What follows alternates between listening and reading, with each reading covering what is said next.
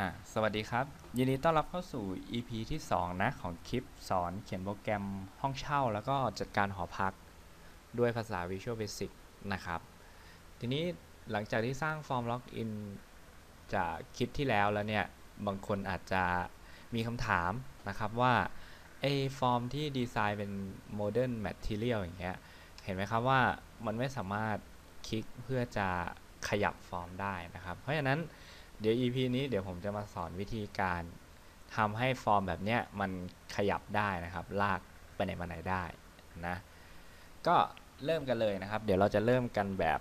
ง่าย ๆ ก่อน แล้วเดี๋ยวผมจะสอน refactor code สอนการเขียน reuse code นะครับ เริ่มต้นที่เราคลิกขวาเข้าไปในตัวฟอร์มล็อกอินก่อนนะครับ ที่ด้านบนสุด เราจะใช้ตัวแปร 3 ตัวนะครับ ก็คือ is begin back นะครับ เป็น boolean นะ ตัวแปรตัวนี้จะเป็นเหมือนตัวบอกว่า user เนี่ยมีการคลิกที่ label หรือเปล่านะครับ ต่อไปตัวที่ 2 นะครับ เป็นเมาส์ ดาว x นะครับ เป็น integer นะ ก็คือตำแหน่งที่เมาส์คลิกลงไปนั่นเองต่อไป อันนี้เป็นแกน y นะครับสามตัว ประกาศไว้ด้านบนสุด ไม่ใช่บน ไม่ใช่บนคลาสนะครับ เป็นในคลาสอีกทีหนึ่งโอเค ต่อไปก็ให้คลิกที่ Label Title นะครับ คลิกทีเดียวนะ แล้วก็มาที่แท็บ Event ตรงนี้นะครับ ปุ่ม Event เลื่อนหา Event เมาส์ดาวนะครับ เราจะเริ่มเขียนที่เมาส์ดาวแล้วมันคลิกเข้าไปในช่องว่างๆตรงนี้ Visual Studio มันก็จะ generate method มาให้นะครับ เราก็เริ่มเขียนเลย if e dot button นะครับ เท่ากับ mouse button dot left จังหวะที่มีการคลิกเมาส์ดาวลงไปที่ level title เนี่ย แล้วเป็นการคลิกด้วยเมาส์ซ้ายนะครับ คลิกที่ปุ่มซ้ายของเมาส์ เราจะให้ being back เนี่ย เป็น true นะครับนะต่อ ไปก็เราจะเซตให้ เมาส์ x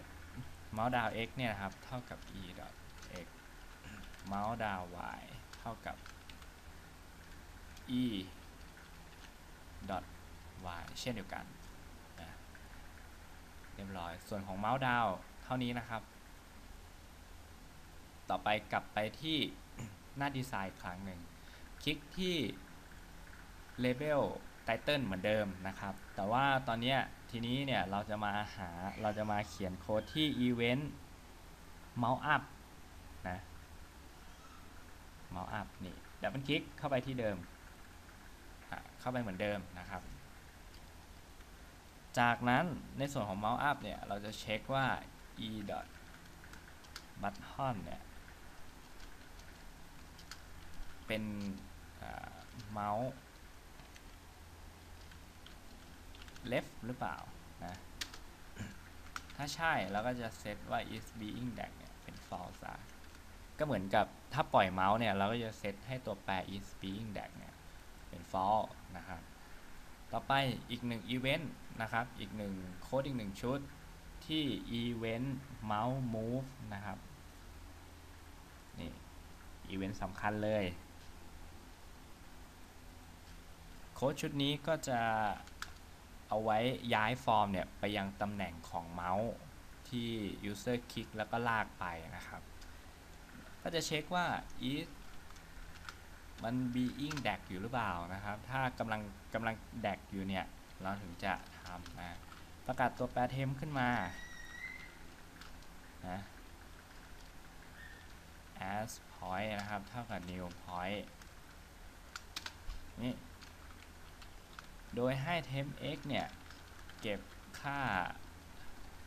fim login location นะครับ ถ้าอยู่ในฟอร์มตัวเองเนี่ย มันจะเรียกมีนะครับ ขออภัยมี location x บวกเราใส่วงเล็บมี x ลบ mouse x อ่าอย่างนี้นะครับ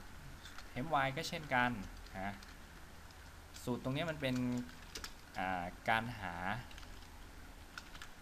การหาตำแหน่งที่จะเลื่อนฟอร์มไปนะครับ e y นะครับ ลบ เมาส์ดาว y โอเครู้สึกว่าไม่ต้องใช้มีก็ได้นะครับ สามารถเรียก property location ได้เลยโอเค รู้สึกว่าจะเพิ่งจะเขียนแบบนี้ได้นะ ผมไม่แน่ใจนะอ่าลองดู จากนั้นเราก็จะให้ location นะครับ หรือว่า form location ของเราเนี่ย เท่ากับ temp ไปซะ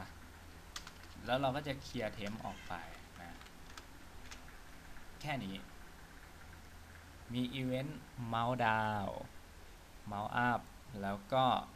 mouse move นะ มีตัวแปรข้างบน 3 ตัว โอเค ลองรันดูนะครับ นี่เห็นไหมครับ สามารถเลื่อนฟอร์มไปไหนมาไหนได้แล้วนะนี่โอเค ทีนี้มีคำถามครับก็คือ ถ้าผมจะให้คลิกที่ โลโก้ตรงนี้นะครับรูปตึกเนี่ยแล้วให้ฟอร์มมันเลื่อนไปด้วยเนี่ยคำถามคือ ผมจะต้องเขียนโค้ดอย่างนี้อีกรอบหนึ่งหรือใช่ไหมอ่าผมก็จะต้อง add event ของอ่า picture pick logo อันเนี้ย mouse up mouse down mouse move อีกรอบหนึ่งถูกไหมซึ่งเราไม่ทำแบบนั้น เดี๋ยวเราจะมา refactor code นะครับ ให้ไอโค้ดเจ้าโค้ดชุดเนี้ย มันสามารถ reuse ได้นะอ่า เรามาเริ่มกันเลย ก็สร้างไฟล์โมดูลใหม่ขึ้นมาเลยก็ได้นะครับ เป็นโมดูลแยกอีกไฟล์หนึ่งเลย move able นะครับตั้งชื่ออย่างนี้ แก้เป็น upper นะครับ move able able control ก็ได้โอเคตอบ yes นะครับนี่ได้แล้ว เราจะย้ายตัวแปร 3 ตัวเนี้ย เอามาเก็บไว้ใน movable control แทนนะครับอย่างนี้แล้วเราก็จะเปลี่ยนตรงนี้เป็น public แทนนะ public public โอเค แล้วก็ เราจะลบโค้ดตรงนี้อ่าจริง ๆ ไม่ต้องลบก็ได้เดี๋ยวค่อยๆ move ไปนะครับ อันนี้ผม move ไปแล้วเพราะฉะนั้นผมจะลบออก จะได้ไม่งงนะครับ จากนั้นแทนที่เราจะเขียนแบบนี้ใช่ไหมเราก็มาสร้าง method ใหม่ เป็น extension method ก็ได้นะครับ extension method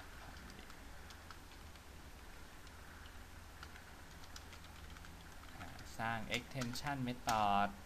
ที่ชื่อว่า set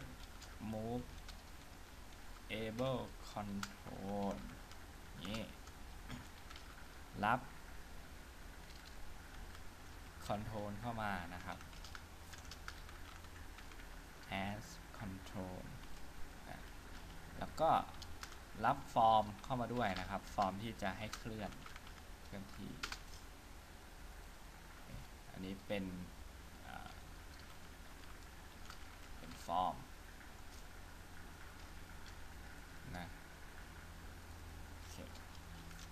นี้ สร้าง extension method ที่ชื่อว่า set movable control โดยผูก method นี้เข้ากับ control ทุกตัวในโปรเจกต์และ รับพารามิเตอร์ฟอร์มเข้ามาด้วยนะฟอร์มที่จะย้ายอะครับอ่าทีนี้เราก็จะมาใช้ เราก็จะย้ายสาม methodสามเมธอดนี้นะครับคัดไป เอาใส่ไว้ใน movable control ใส่ไปเลยนะ วาง แน่นอนว่าต้อง error นะ จากนั้นผมจะลบ handle ตรงนี้ออกนะครับ ลบออกทั้ง 3 ตัวเลย 3 เมธอดที่ copy มานะ ที่คัดมา ลบออกให้หมด จากนั้นมาเปลี่ยนชื่อเมธอดสักนิดหนึ่งนะครับ control เมาส์ดาว control เมาส์ up control เมาส์ control mouse move นี้ โอเค จากนั้น ที่ method control mouse move เนี่ย เราจะรับพารามิเตอร์เพิ่มขึ้นมาอีกตัวหนึ่งนะ เป็น form form นี้ รงนี้เราก็จะใส่เป็น fim dot location แทน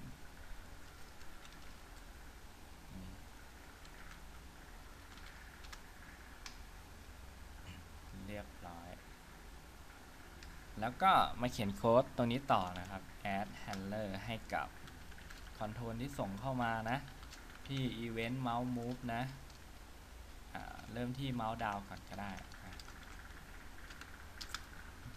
เมื่อมีอีเวนต์เมาส์ดาวนะครับ ให้ sender add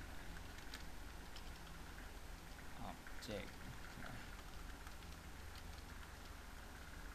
object แล้วก็เอาเมาส์อี event argument นะครับ ก็ เรียก control mouse down sender กับ e เข้าไปเรียบร้อย คือเหมือนเราสั่งให้ VB เนี่ย เพิ่มนะครับ เพิ่มเมธอดตัวเนี้ยเพิ่มเพิ่ม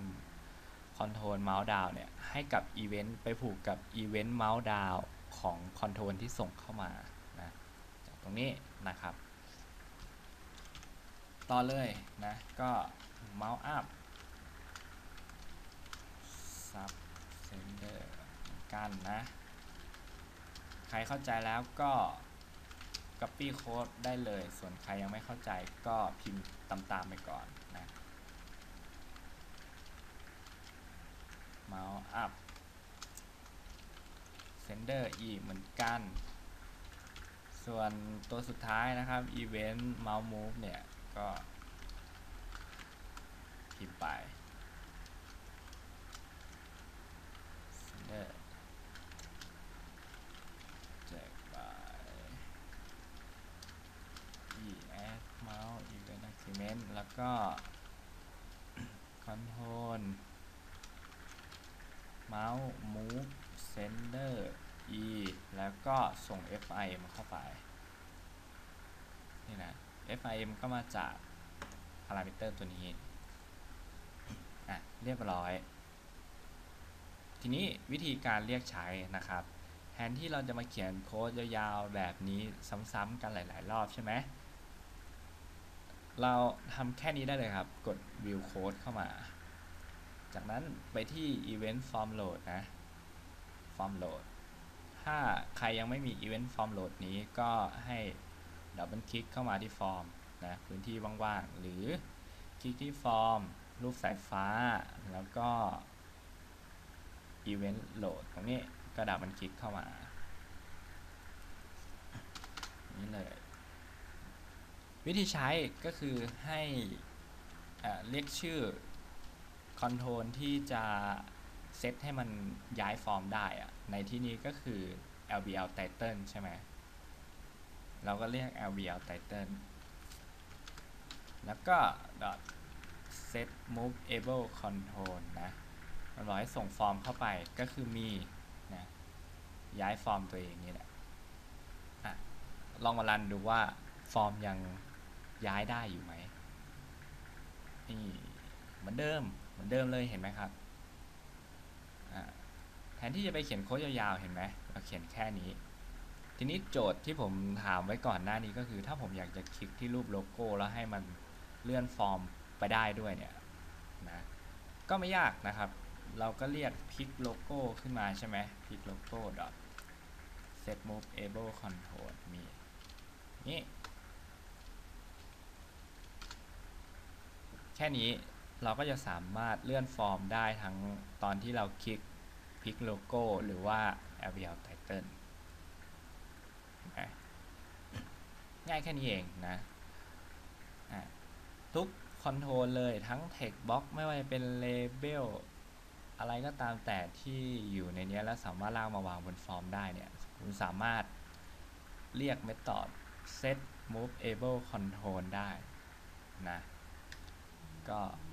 ซอฟต์โค้ดอยู่ในนี้หมดแล้วก็ลองศึกษาดูนะ ไม่ยากนะครับ เห็นไหม